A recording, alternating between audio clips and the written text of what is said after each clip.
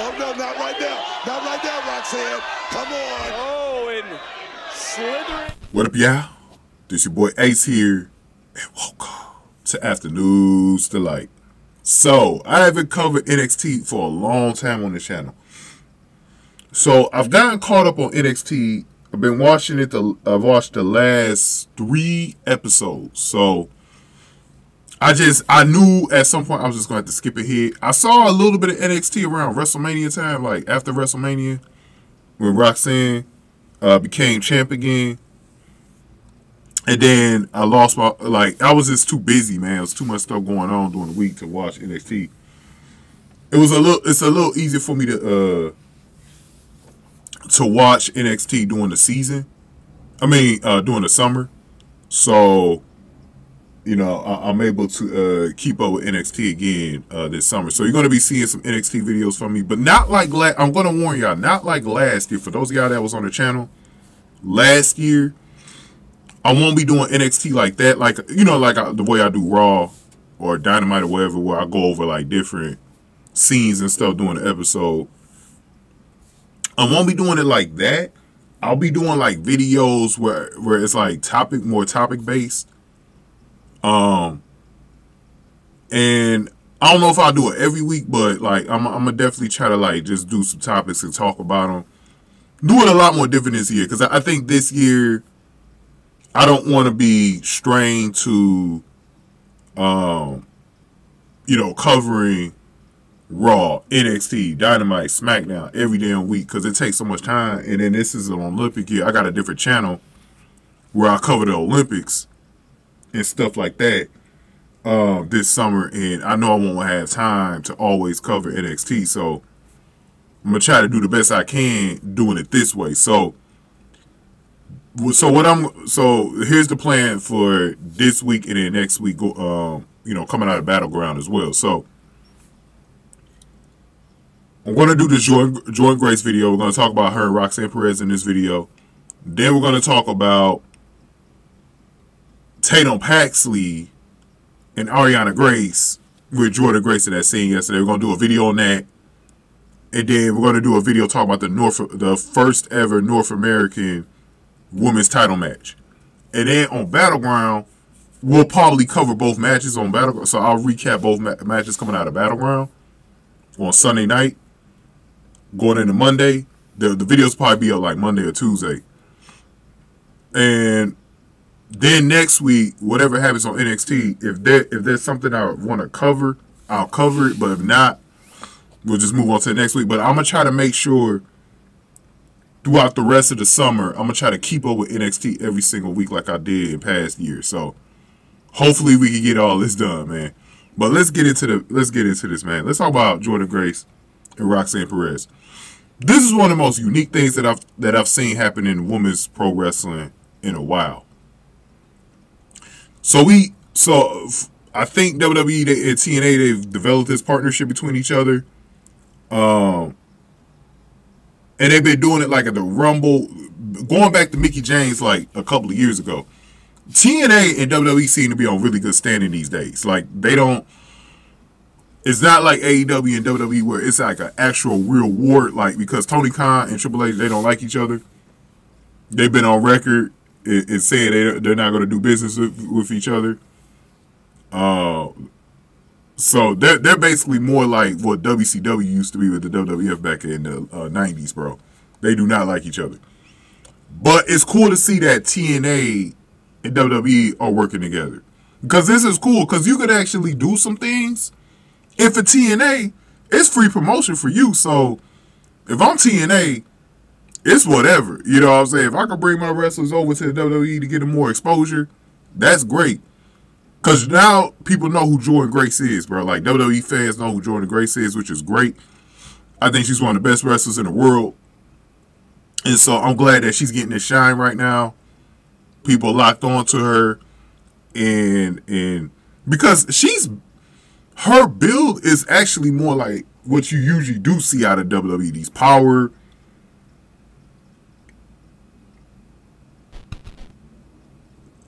like these power type wrestlers, man. Like that's usually what we do see That's usually what we do see out of these WWE wrestlers, man. Um, I I think I think just like with Naomi, I think Jordynne Grace, whenever her contract expires, I think she gonna go into the WWE, and she should. Because there's actually, I wanted, I forgot to talk about this in my Kiana James video from Raw. I forgot to bring up that I would love to see Kiana James face Jade Cargill and Bianca Belair one day. Like at WrestleMania. Like, I think that shit'll cook. Like, once Jade Cargill becomes a way better wrestler, that matchup will be great. And then imagine Jordynne Grace against either one, either three, either one of the three girls, Kiana, Bianca, or Jade. Like that'd be great. And then maybe Jordynne Grace against Nia Jax. I think that should have killed too.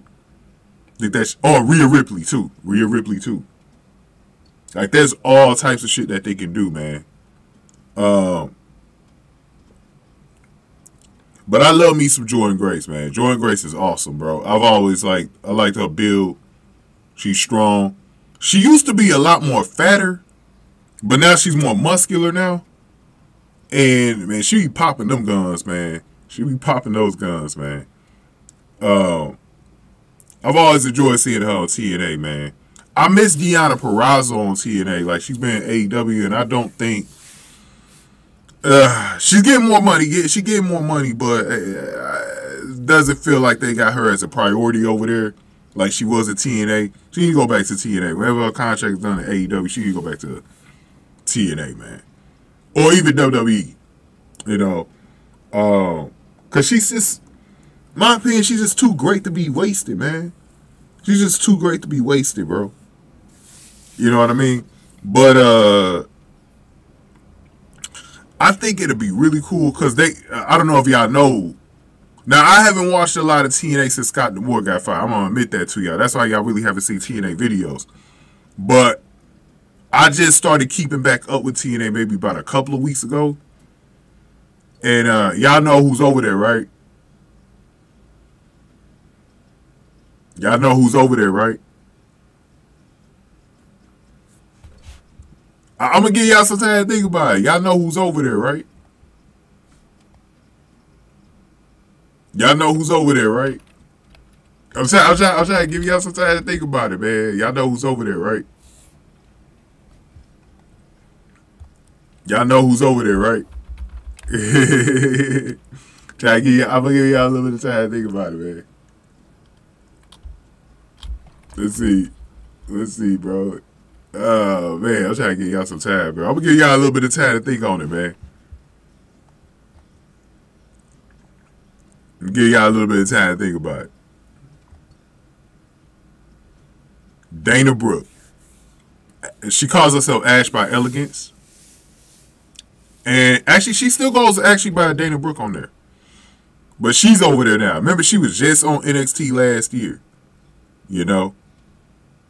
Um. But uh, she goes by Ash by Elegance because her real name is Ashley May Se- Sebere. I think that's how you say Sebere, Sebera, whatever it is. But that's actually her real name. You know what I'm saying? That's a, that's actually her real name. You know what I'm saying? Ashley. So she's over there right now.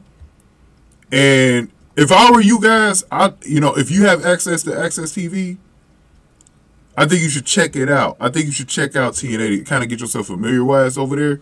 Because one of the things that I think the WWE should do in TNA and what they're doing with her, uh, Roxanne Perez and Jordynne Grace, they should do a storyline where the championships are on each other's shows, right? and you're and you're doing this thing where the NXT girls got to tr- try to go grab the Knockouts title. I think in this match, see, I don't really want Roxanne Perez to lose that title, but I think it'd be so interesting if you had Jordynne Grace as a double champion and then she bought the NXT the main title. Because what the one thing that Shawn Michaels could do is he could put some shine on that North American title and then maybe like later this summer, Slammiversary, TNA always does Slammiversary. That's their biggest summer pay per view, right? You can have a match at SummerSlam for the NXT Women's Title.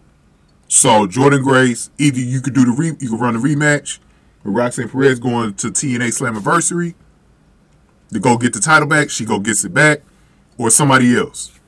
Cause th- that's why that's what we're gonna do in, in the next video. I do. We're gonna talk about that scene that she had with Tatum Paxley and Arianna Grace. Cause I, I got some ideas for that. Um, but overall though, overall man, they man, bro, like overall, man, they they they got a chance to cook, bro. Like like like they really got a chance to cook right now, bro. They really got a chance to cook with this shit right now. They really got a chance to cook. You know what I mean?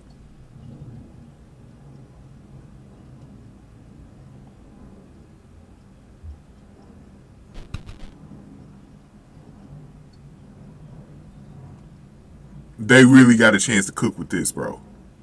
Like I'm telling y'all, they got a chance to really cook with this. I think that, like I said, if they do it right, if they do it right, bro, they they got a chance, man.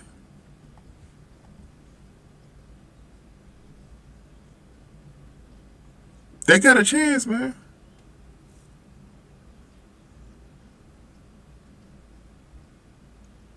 They really do.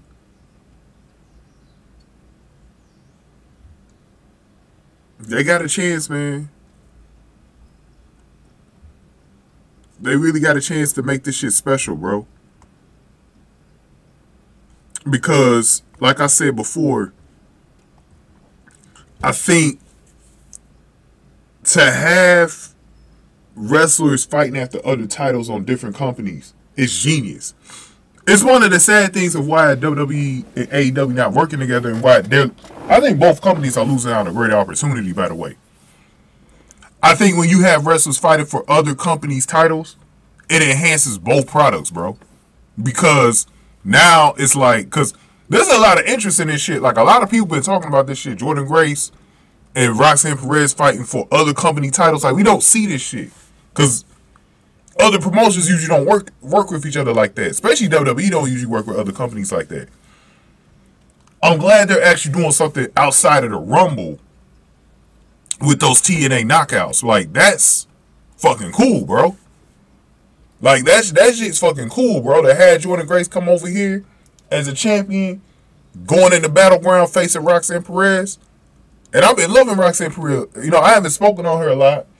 I've been loving the heel character that Roxanne Perez been rocking. It reminds me, it's like, it's like Cora Jade basically. It's like it's like really watching Cora Jade. Cause you know we all missing Cora Jade. Cora Jade not around right now. You know she dealing with the injury. She actually came on a house show. I think she, you know, she looks good. You know, she's off the crutches and everything. I think she'll be back pretty soon. Like I think I actually think she'll be back by the fall wrestling like actually out there wrestling. Like Sol Ruca came back really fast. Like I didn't expect Sol Ruca to come back as fast as she did. So I think she's going to be on a similar timeline, like right around eight to eight to ten months is about what you would expect from an injury like that anyway. So, but Jordynne Grace, man, bro, this could be historic, man. If you have Jordynne Grace take that NXT Women's title and you build a whole storyline on both shows around the NXT girls trying to get that title back at Slammiversary, that shit'd be good, bro. That shit'd be good. Like, and this is something that you don't need to run all the time. Like, you don't need to always run this back and forth shit because it'll get old at some point. It'll get kind of old. You want to keep it special. So maybe do it like once or twice a year that way the other girls that's already in your company can still go after the title. Like after Slammiversary, whatever happens with this shit is done. Now we can have whoever's going to go after that title. Unless you do double champions again, where now Roxanne is bringing the TNA Knockouts title. Because she used to be in TNA, right? She used to be in TNA before she came to NXT. She was actually in TNA. And so you could do that. and then somebody go get it from Roxanne gets the gets the knockout title back, and then they do whatever they're gonna do. And then we bring this storyline back up sometime next year. You know what I mean? Like you could do it like that. But it enhances both sides, bro, and it'll be awesome. See, they should also they should have also did that with the tag team titles too, because TNA has some prestigious tag team titles too. They could do this shit with the tag team too.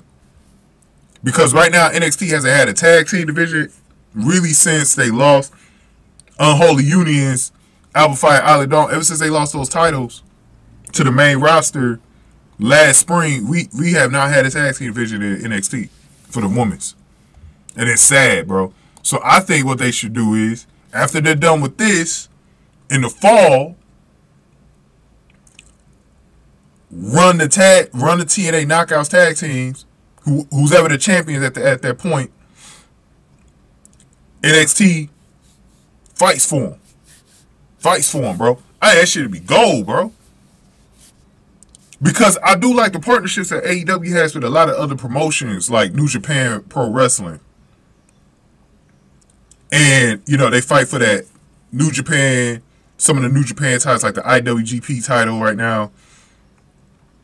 I don't think they defend the strong woman, the strong, the strong title over there, but Willow Nightingale and Mercedes Moné was just fighting for that title last year. You know what I'm saying? And actually, they got a lucha. The lucha champion is over is is on there right now. Looking for smoke for Mercedes Moné's TBS title. Her name is Stephanie Vaquer. We're gonna hear more from her tonight. Uh, uh, I'm actually recording this while Dynamite just started. But, bro, there's a lot of shit you can do, man. And I think in order to really make this storyline matter and make people really care about it after Battleground, is to have Jordynne Grace. Like Jordynne Grace got to win, bro. Jordynne Grace has to win, cause now you're you now you've created this intrigue of who's going to go to some who's going to go to Slammiversary and get that title from Jordynne Grace. Is it gonna be Roxanne herself? We're gonna run the rematch at Slammiversary? Or is it gonna be somebody else? Let's talk about that in the next video, man. But going ahead, uh, also, I got a poll going on right now, and it is on fire right now. Like this has been one of my most popular polls of the year in wrestling. We've got almost 800 votes. I didn't even put the. It's it ain't even been 24 hours yet. I just put this out 16 hours ago, asking out point blank period who you think is going to win between Jordynne Grace and Roxanne Perez. And I'm actually shocked. We got 776 votes, 45 likes. Got a lot of comments. And I'm shocked right now. A majority of the people have chosen Jordynne Grace winning. I'm shocked because I thought Roxanne Perez would run away with this thing, man. Only 31% got Roxanne Perez, bro. That is shocking.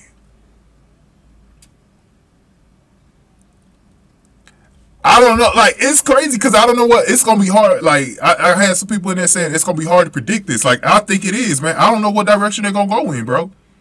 The right direction is Jordynne Grace though, because then it's like, what was the point of Jordynne Grace coming over if she just gonna lose to Roxanne Perez? Like, what was the point? I think you create more intrigue having. See, the the TNA Knockouts title should have been on the line too. It probably would have it would have uh with Roxanne Perez, if she held on and won, it would have created some intrigue for somebody from TNA to go try to go get Roxanne Perez and invite Roxanne Perez to Slammiversary to go defend that title so they can get that TNA Knockout Championship back. Maybe or do or it be Jordynne Grace herself. But I think you create more intrigue having Jordynne Grace take that NXT Women's title because now it's like oh shit, who gonna, you know, like I said, who gonna go to Slammiversary and go get that title from Jordynne Grace, bro? So thank y'all for voting in the poll, by the way. But yeah, man, that's where we're at, man. And I want to hear y'all in the comment section because I think this is very interesting. Like,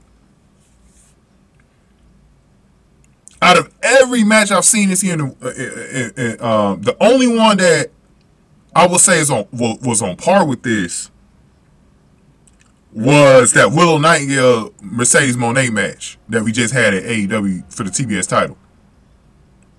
This is the one woman's match this year that I, am the most, most, most, most interested in because it could go either way, and there's a lot of ramifications on what happens after this.